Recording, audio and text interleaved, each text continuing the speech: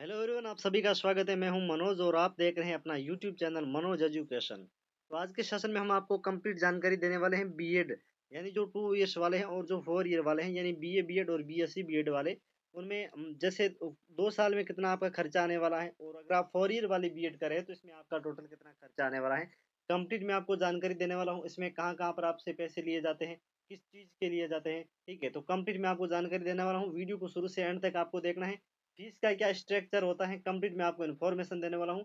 Video को like कर देना चैनल को सब्सक्राइब ज़रूर कर देना, इसी प्रकार के आपको वीडियो टाइम टू टाइम आपको मिलते रहते हैं। और स्कॉलरशिप आपको कितनी मिलती है, कुल कितना आपका खर्चा आएगा कंप्लीट मैं आपको यहाँ पर जानकारी दूँगा। तो सबसे पहले यहाँ पर हम बात करते हैं आपकी फ़ीस से रिलेटेड ठीक है फ़ीस के बारे में अगर बात करें, आप सभी को पता है बी में जो आपकी फ़ीस है वो किस प्रकार से ली जाती है। यानी ये जो आपकी पहले पाँच हज़ार रुपये यह देख सकते हैं फ़ीस के बारे में। तो यहाँ पर आप फ़ीस के बारे में अगर बात करें तो आपसे पहले पाँच हज़ार रुपये लिए जाते हैं। यानी कि जब आप रजिस्ट्रेशन करते हैं ना काउंसलिंग के लिए, तब आपसे पाँच हज़ार रुपये लिए जाते हैं। और पाँच हज़ार के बाद में आपकी जो जैसे आपको कॉलेज आवंटित हो जाता है पाँच हज़ार बनने के बाद में तो आपसे बाईस हज़ार है वो लिए जाते हैं।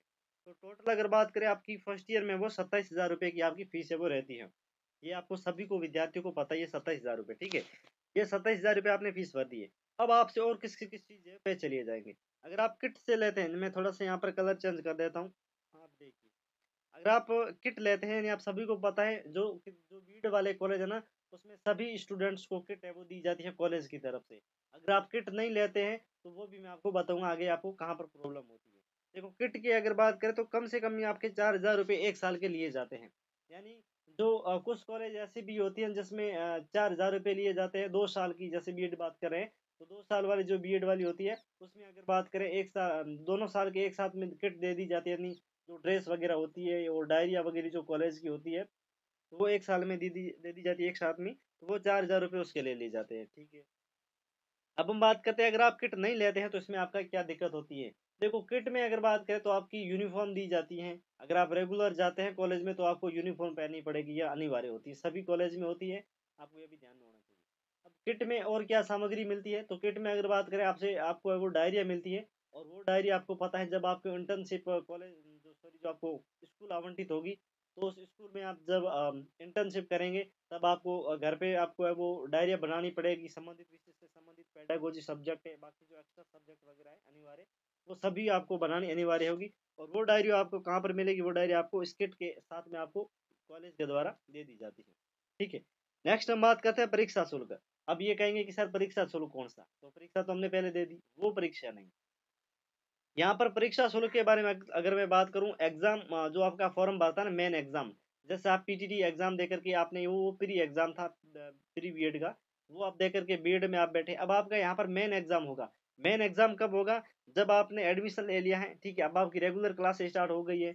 अब आपका एक एग्ज़ाम फॉर्म भरा जाएगा यूनिवर्सिटी की तरफ़ से। अगर आप राजस्थान यूनिवर्सिटी से हैं तो राजस्थान यूनिवर्सिटी एक नोटिफिकेशन जारी करेगी। जितनी भी संबंधित, जितनी भी राजस्थान में यूनिवर्सिटी है, जिस यूनिवर्सिटी से आप बी एड करें, उन सभी यूनिवर्सिटी के द्वारा अलग अलग समय पर वो एक नोटिफिकेशन जारी किया जाता है।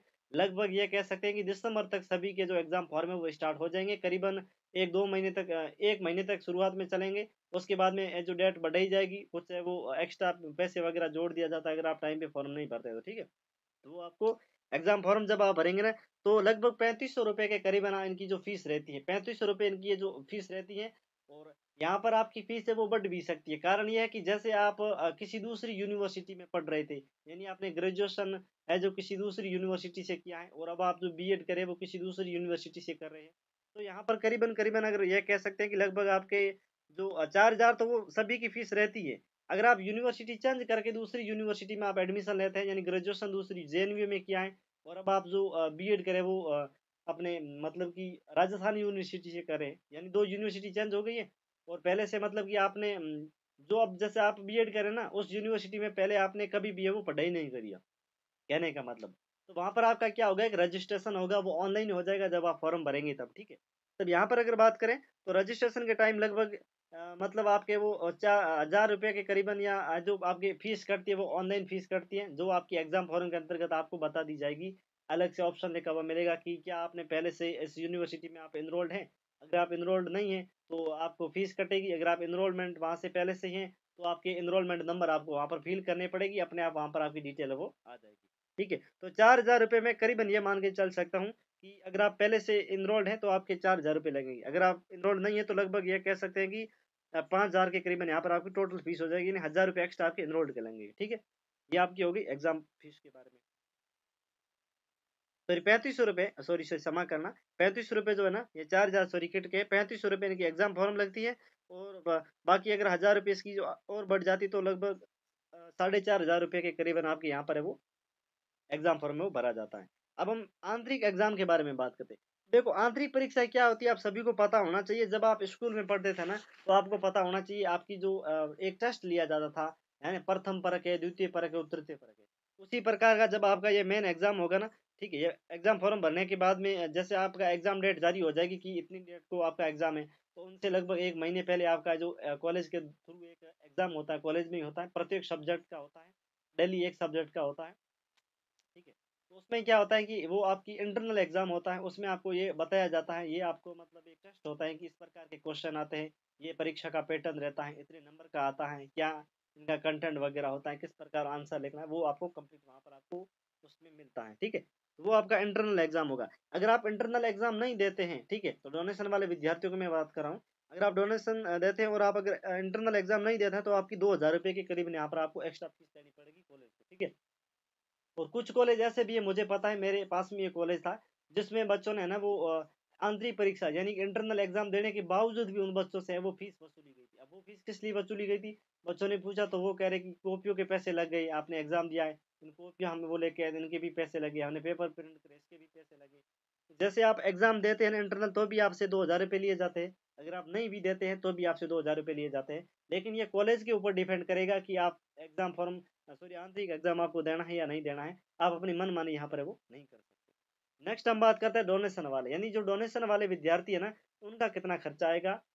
तो देखो, जैसे आप डोनेशन देते हैं तो आपको पता है करीबन यहाँ पर आपका पर ईयर्स यानी पर साल में, यानी प्रत्येक साल में आपके लगभग बीस हज़ार रुपये आपसे हर बच्चे से वसूले जाते हैं। तो अगर बीस हज़ार आपसे वसूले जाते हैं तो मैं यहाँ पर आपको फ़ीस का स्ट्रक्चर बता देता हूँ। सबसे पहले आपकी सत्ताईस हज़ार रुपये है, वो फ़ीस ले ली जाती है। चार हज़ार रुपये किट के लिए जाते हैं। अगर आप पहले से यूनिवर्सिटी में इनरोल्ड हैं, ठीक है तो आपसे पैंतीस सौ रुपये वो एग्ज़ाम फॉर्म के लिए जाएँगे। अगर आप पहले से इनरोल्ड नहीं है तो हज़ार रुपये यहाँ पर आपको एक्स्ट्रा वो वसूले जाएँगे। किसके द्वारा? यूनिवर्सिटी के द्वारा जो आपको इनरोल्ड होते हैं। और इसके अलावा आपके आंतरिक परीक्षा एक और लगती है, जिसमें दो हज़ार रुपये लिए जाते हैं। और अगर आप डोनेशन पे रहते हैं तो करीबन करीबन आपके बीस हज़ार रुपये वो एक साल के लिए जाते हैं। तो अब इनका जो टोटलिंग कितना होता है सर तो अब टोटलिंग अगर बात करें तो डोनेशन वाले विद्यार्थियों का जो टोटलिंग अगर बात करें तो चौपन हज़ार पाँच सौ रुपये होता है। लेकिन मैंने एक बात और यहाँ पर है, वो फील करना मैं भूल गया हूँ। लगभग आपको पता ही होगा, जब आप रिपोर्टिंग सॉरी जब आप काउंसलिंग करवाने गए थे ना कॉलेज में, तब किस, कुछ स्टूडेंट से हज़ार रुपये लिए थे, कुछ स्टूडेंट से पंद्रह सौ रुपये लिए थे। वो भी आप इसमें वो ऐड कर लेना तो कम से कम ये मान के चल सकते हैं कि एक साल, जैसे आप बीड फ़र्स्ट ईयर कर रहे हैं, दो साल वाला तो एक साल में अगर और आप डोनेशन भी दे रहे हैं, मैंने डोनेशन से संबंधित वो बताया, ठीक है? अगर आप डोनेशन देते हैं और आप रेगुलर नहीं जाते डोनेशन देते हैं ठीक है? तो करीबन करीबन आपका एक साल में साढ़े लगभग पचपन हज़ार रुपये क्योंकि लगभग हज़ार रुपये तो वो आप मान सकते हैं कि जो आपसे लिए थे ना मतलब एक्स्ट्रा कौन से एक्स्ट्रा सर एक्स्ट्रा वो जो आप काउंसलिंग करवाने गए थे तब तो वो आप इसमें जो ऐड कर लीजिएगा करीबन करीबन यहाँ पर वो साढ़े पचपन हज़ार या छप्पन हज़ार के करीबन यहाँ पर आपका एक साल है वो बीड वाला कंप्लीट होता है। ये आपको जानकारी सभी स्टूडेंट को हो ज़रूरी है। नेक्स्ट हम बात करते हैं कि सर हम तो डोनेशन पे नहीं, हम तो रेगुलर जा रहे चलो, कोई बात नहीं है। अगर आप रेगुलर जा रहे हैं तो आपको इसमें क्या बदलाव करना पड़ेगा? बदलाव आपको क्या करना पड़ेगा? एक तो आप भाई वहाँ पर जैसे आंतरिक एग्ज़ाम देंगे तो भी पैसे लिए जाते हैं। अगर नहीं देते हैं तो भी पैसे लिए जाते हैं ठीक है? तो ये तो आपको देना पड़ेगा ये भी देना पड़ेगा ये भी ये भी ये भी। लेकिन अगर आप डोनेशन देते हैं तो ये आपको बीस हज़ार रुपये नहीं देने पड़ेंगे। तो सर हम तो आ, हमारा तो बी है वो फ्री में होता है बिल्कुल फ्री में नहीं होता मैं बता देता हूँ। अगर आप डोनेशन नहीं देते हैं तो वहाँ पर अगर आप रेगुलर जाते हैं तो ये बीस हज़ार आप कट कर दीजिए, अगर आप रेगुलर जाते हैं तो कम से कम वहाँ पर आपकी छः से सात महीने आपकी वहाँ पर वो क्लासें लगती हैं। तो एक महीने का करीबन सात चार तीन से चार हज़ार के करीबन आपका वहाँ पर वो खर्चा बैठता है। तो करीबन अट्ठाईस हज़ार रुपये आपके वो सात माह के बैठ जाते हैं। तो भैया बीस हटा देते अट्ठाईस यहाँ पर जोड़ देते हैं तो आपका सर कितना आएगा? तो अगर बात करें, अगर आप रेगुलर जाते हैं तो करीबन साढ़े साठ हज़ार रुपये के करीबन यहाँ पर आपका वो फ़ीस का स्ट्रक्चर एक साल का बैठता है।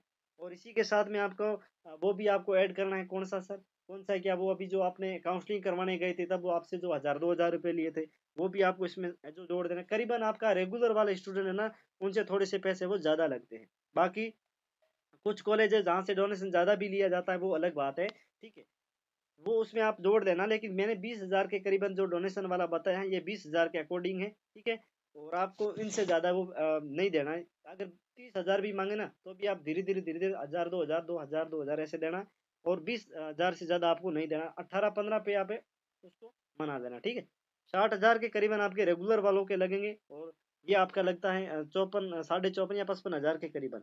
अब देखो, जैसे दो साल वाले ना, ये फ़ीस तो देखो, अगर आप सेकंड ईयर करेंगे अभी फ़र्स्ट ईयर में तो सेकंड ईयर में भी आपकी लगभग जो फ़ीस रहती है ना, वो करीबन आपकी रहती है छब्बीस हज़ार आठ सौ बीस रुपये आपकी यहाँ पर है, वो फ़ीस रहती है सेकंड ईयर की, ठीक है? छब्बीस हज़ार आठ सौ, बीस रुपये यहाँ पर आपकी जो फ़ीस रहती है बी एड जो सेकंड ईयर वाले हैं उनकी। ठीक है, ये आपको ध्यान में होना ज़रूरी है और ये आपको फ़ीस है वो सेकंड ईयर की बाद में भरनी है। अब ये आपकी एक साल की फ़ीस होगी ये डोनेशन वालों की और ये होगी रेगुलर वालों की। ठीक है, अब अगर आप फोर ईयर वाले हैं ना तो इनको सीधा इनको चार से गुणा कर लो। अगर यहाँ पर आप फोर ईयर वाले तो सीधा चार से गुणा कर लो। तो आपका कंप्लीट यहाँ पर जो फ़ीस का स्ट्रक्चर है वो आ जाएगा आपके चार साल वाले में। और यहाँ पर अगर बात करें आप दो साल वाले हैं दो साल बी वाले हैं तो उनको सीधा दो से गुणा कर लो और आपका फ़ीस का स्ट्रक्चर है वो आ जाएगा। तो यहाँ पर एक साल का साढ़े चौपन हज़ार के करीबन यहाँ पर आपकी लगती है और ये आपकी विदाउट जो काउंसलिंग जो फ़ीस है वो उनकी मैंने बताई है। तो अगर आप काउंसलिंग वाले इसमें ऐड करते हैं तो वो हज़ार, दो हज़ार रुपये जो आपकी काउंसलिंग के टाइम कॉलेज वाले अवैध वसूली की थी, वो भी अगर आप यहाँ पर जोड़ते तो करीबन आपके पचपन या छप्पन हज़ार के करीबन यहाँ पर आपका बैठता है। और यहाँ पर भी वो, जो इतना यहाँ पर आपको जोड़ देना काउंसलिंग के, वो यहाँ पर आप जोड़ देना तो आपका कंप्लीट यहाँ पर फ़ीस का स्ट्रक्चर है वो आ जाता है। तो करीबन करीबन यह कह सकते हैं कि लगभग आपका यहाँ पर जो फ़ीस का स्ट्रक्चर मैंने बता रखा है, अब देखो जो डोनेशन वाले विद्यार्थी है ना, उसको कभी कभार कॉलेज भी जाना पड़ता है। अगर दूर वाले हैं, हज़ार दो हज़ार रुपये आपका किराया भी लग जाता है। लगभग मैंने जो बता रखा है कि कब कब आपको जाना है, ठीक है। उनसे रिलेटेड मैंने कंप्लीट वीडियो बना रखा है। इस वीडियो के डिस्क्रिप्शन में आपको लिंक मिल जाएगी, ठीक है। और बाकी आपको पता है, वहाँ पर आपका जो किराया वगैरह है तो उनके अकॉर्डिंग अगर बात करें तो आप लगभग चार, पाँच बार अगर जाते हैं तो करीबन दो हज़ार, तीन हज़ार के करीबन आपका वो, जो स्ट्रक्चर लग जाता है किराया वगैरह। तो करीबन ये मान के चल सकते हैं कि एक साल बी आपका वो साठ हज़ार के करीबन आपकी बैठेगा। और जब आप दो साल वाला करें तो एक लाख बीस हज़ार के करीबन आपकी कंप्लीट आपकी बी एक लाख बीस हज़ार में होगी। अगर आप फोर ईयर वाले हैं तो आप देख सकते हैं दो लाख चालीस हज़ार के करीबन यहाँ पर आपकी वो बी होगी, आपको ध्यान में होना ज़रूरी है। और जो दो साल वाली बी है, अब इनकी वैल्यू है वो धीरे धीरे कम होती जाएगी और जबकि फोर ईयर वाले इनकी वैल्यू है वो ज़्यादा होगी। कैसे? क्योंकि 2030 के बाद में अगर बात करें तो दो साल वाले जो बी करें, उनकी जो डिग्री है वो बंद हो जाएगी और दो दो हज़ार तीस के बाद में जो बी दो साल वाले वो टीचर भी है, वो नहीं बन पाएँगे। क्योंकि यूजीसी के द्वारा गवर्नमेंट ऑफ़ इंडिया के द्वारा है, वो नोटिफिकेशन वो पहले ये लगभग दो चार महीने पहले वो जारी कर दिया गया था। उनसे रिलेटेड मैं कंप्लीट आपको जल्दी वीडियो वो प्रोवाइड करवा दूँगा।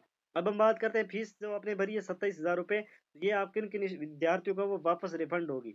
इसके अकॉर्डिंग अगर बात करें तो समाज कल्याण विभाग की तरफ़ से एक स्कॉलरशिप का भी फॉर्म है वो स्टार्ट किया गया है, जिसमें नाम है समाज कल्याण विभाग स्कॉलरशिप जिसमें S C S T O B C B P L M B C B P L E W S B P L general B P L वाले जो स्टूडेंट हैं, उन सभी विद्यार्थियों को और जो डिवोर्स वाली है पी डब्ल्यू कैटेगरी है, विकलांग विधवा वाली, उन सभी विद्यार्थियों को है वो, यहाँ पर है वो कंप्लीट उनकी जो फ़ीस होती है सत्ताईस हज़ार रुपये समाज कल्याण विभाग की तरफ़ से उनको कंप्लीट फ़ीस है, वो वापस दे दी जाती है।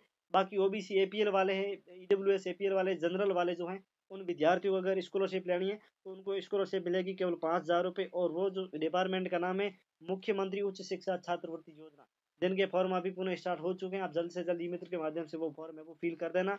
यानी कि मुख्यमंत्री जो उच्च शिक्षा छात्रवृत्ति योजना है, यानी सी एम हायर एजुकेशन जो स्कॉलरशिप स्कीम है वो दो हज़ार तेईस में पाँच हज़ार रुपये की स्कॉलरशिप दी जाती है। अगर आप ये दोनों फॉर्म भरते हैं तो दोनों फॉर्म आपके रिजेक्ट हो जाएँगे, आपको एक भी स्कॉलरशिप वो नहीं मिलेगी। ये विद्यार्थियों को ध्यान होना ज़रूरी है। नेक्स्ट अगर बात करें, समाज कल्याण वाले, जो S C S T O B C B P L है E W S B P L है जनरल बी पी एल वाले हैं, वो ये फॉर्म ज़रूर लगा देना, जिसके अनाथ अनाथ वाले हैं, वो भी इसमें फॉर्म में वो लगा लेना। कोई भी कैटेगरी वाला तो इसमें आपको सत्ताईस हज़ार रुपये की स्कॉलरशिप मिल जाएगी। कंप्लीट वीडियो आपको मिल गया है। कैसा लगा कमेंट कर देना और टेलीग्राम पे अगर अभी तक आप नहीं जुड़े हैं तो इसी वीडियो को डिस्क्रिप्शन में आपको लिंक मिलेगी। उसके माध्यम से आप टेलीग्राम पे अवश्य ज्वाइन हो जाइए, क्योंकि बी से रिगार्डिंग कंप्लीट वहाँ पर आपको जानकारी वे टू जेड आपको मिलती रहती है। और जैसे ही आपके इंटर्नशिप स्टार्ट होंगे डायरिया कैसे बनानी तो मैं कंप्लीट आपको बताता रहूँगा। वीडियो को लाइक कर देना चैनल को सब्सक्राइब ज़रूर कर देना, टेलीग्राम पर आप अवश्य जुड़ जाइए। Thank you